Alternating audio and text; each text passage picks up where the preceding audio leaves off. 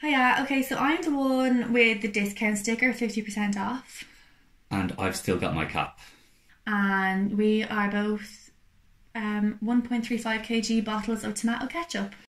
And so we used to work for Dealz. We used to be um, ketchup bottles on the shelf in Dealz, and our job basically was Top shelf ketchup. top shelf yeah yeah and our job was just to be to be bought you know um and we went through all the selection process and all the different stages for the interviews Yeah.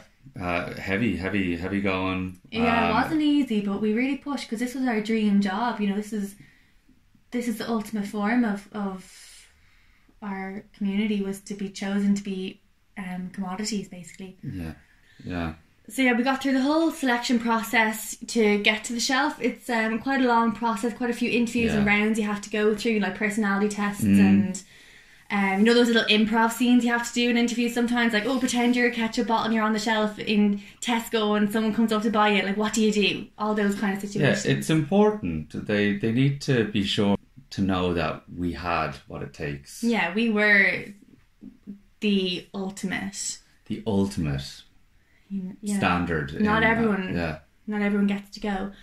And then, I mean, as you can tell, you're lo- you're hearing this story and you're looking at us and you're thinking, yeah, right. you know, I've not even got a head, have I? I've not even got my cap on. Um, yeah, we're on the shelf and Dealz. We made it all the way through. It's our first day, first week was our first day even It was it was our first day. on the shelf and Dealz. Normal day, it's Tuesday on the shelf and Dealz. And you know, I was I woke up. It was a beautiful day. The shop opens Nice up. day. Yeah. Um, and all of a sudden, bam, Jostled. jostled One of our colleagues, the YR, yeah, Yeah. somebody reached Yeah. for the YR and I think I- was it you jostled first and bumped off me? I, I, I did you try to? I, I, don't, don't, know. want to play the blame here. Like I don't know how it really happened. It was more, you know, you stop paying attention for one second, Yeah. and all of a sudden you lose your balance, and really like.